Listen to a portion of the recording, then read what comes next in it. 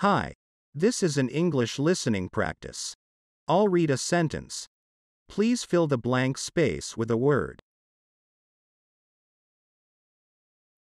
Asking to join them for a walk might lead to new friendships with neighbors and dogs.